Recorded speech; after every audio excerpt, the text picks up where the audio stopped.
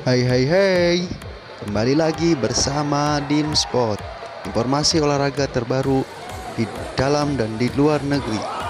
Untuk lebih lanjut jangan lupa ya guys Klik tombol subscribe dan jangan lupa loncengnya Biar kalian bisa mengikuti informasi terbaru dari kami.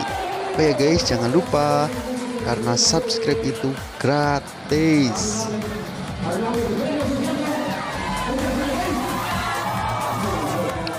Alfonsius Kelvan Santer dikabarkan gabung dengan Persib Bandung.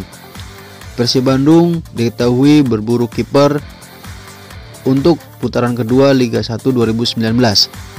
Setelah bidikan utama Teja Paku Alam dipastikan gagal bergabung, kini Persib Bandung mengalihkan target yaitu kiper Borneo FC Alfonsius Kelvan.